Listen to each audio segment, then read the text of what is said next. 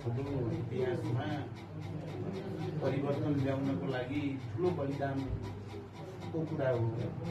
हामीहरू सबै त एकचोटि त जानु नै छ। शहीदहरू चाहिँ मरेर पनि जीवित हुन्छ सामान्य मान्छेहरू मरेपछि मरेको त्यसको हिसाब हुँदैन। अहिले हामी शहीदको रूपमा सम्मान गर्छौँ। राज्यले पनि बिस्तारै अब सम्मान गर्न सुरु भएको छ। हुन त म पहिलोचोटि प्रधानमन्त्री हुँदा सबैलाई शहीद घोषणा गराएको थिएँ क्याबिनेटबाट। तर त्यहाँ कहीँ न कहीँ फेरि पछि हटिसकेपछि बदमासी भएर त्यो राजपत्रमा छापिएन छ नत्र चाहिँ हजारौँ शहीदहरूलाई राज्यले सम्मान गर्ने स्थिति बनेको थियो। अहिले फेरि बिस्तारै तपाईँहरूलाई मैले अहिले छोटोमा भन्ने कुरा के छ भने फेरि बिस्तारै अब सरकारले पनि शहीदको मान्यता दिने सम्मान गर्ने राहत दिने सुरु भएको छ। अहिले अस्ति भर्खरै मधेस सरकारले जनयुद्ध दिवसकै दिन सबै जनयुद्धका शहीदलाई शहीदको सम्मान राहत अनि प्रमाणपत्र सबै दिन सुरु गरेको छ। अरू सरकारले पनि गर्दैछन् र अब केन्द्रबाट पनि फेरि अहिले अर्थ मन्त्रालयको तर्फबाट शहीद परिवारलाई घाइते अपाङ्गहरूलाई बेपत्ताका परिवारलाई विशेष राहत प्याकेजको घोषणा गरिएको छ।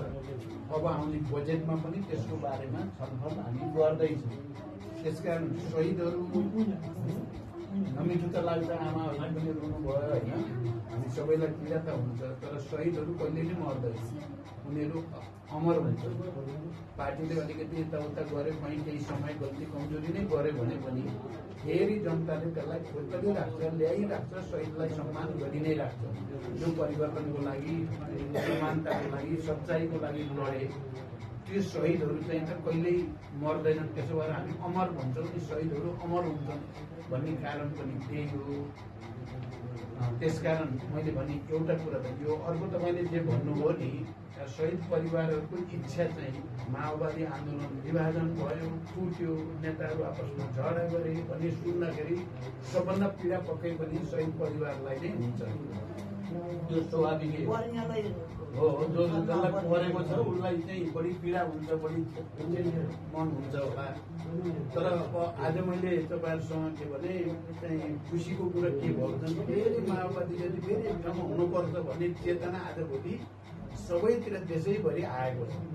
अस्ति वैशाख एक गते नयाँ वर्षको उपलक्ष्यमा सुदूरपश्चिमका सबै जसो फेरि एकताबद्ध भए विप्लवतिर गएका पनि सबै नै आए केन्द्रीय नेताहरूदेखि सबै बाबुरामतिर गएका पनि सबै फेरि जोडिए र अब फेरि हिजो मात्रै पनि चाहिँ पेरिस डाँडामा तपाईँले देख्नुभयो होला सयौँ सयौँ फेरि जोडिँदैछन्। त्यस कारण माओवादी जति फेरि एक ठाउँमा एकचोटि जम्मा हुन पर्यो माओवादी एक हुने हो भने नेपालमा अरू कसैले सक्दै सक्दैन माओवादी।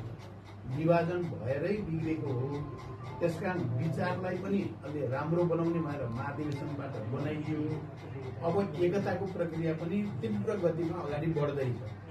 त्यसकारण माओवादी जति सबै एक ठाउँमा केन्द्रित हुन्छन् नै साथीहरू जसले हिजो पार्टीलाई लिडरसिपलाई प्रचण्डलाई गाली गर्दै हिँडे अहिले चाहिँ फेरि पश्चाताप गरेर गल्ती गरिएछ गर्नै नहुने काम गरिएछ भनेर तिनै साथीहरूले भन्यो अस्ति त यति भावुक वातावरण भन्यो नि कुमलटारमा हिजो त्यत्रो आलोचना गरेर गएको केन्द्रीय सदस्यहरूले हामीले गल्ती गरिएछ। अब अहिले विप्लव समूहभित्र पनि छलफल चलिरहेको छ।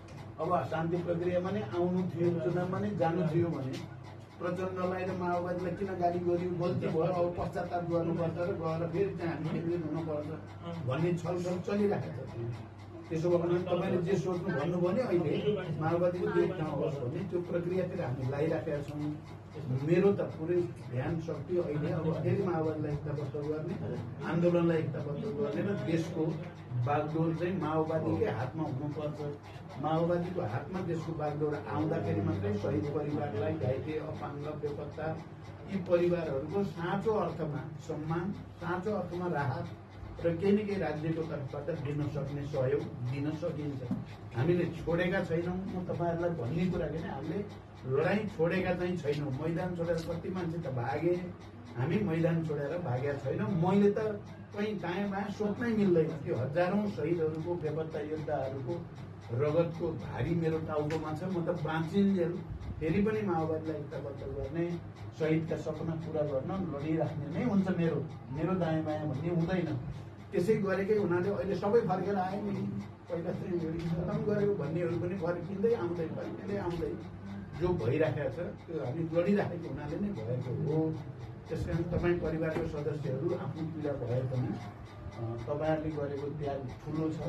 होइन सारीको चाहिँ बलिदान खेर जाँदैन। खेर जान्छ कि भनेर चिन्ता नगर्नु होला। राज्यले भोलि भोलि आउनेले पनि जनताले पनि सम्मान गरिरहेको त्यही हो।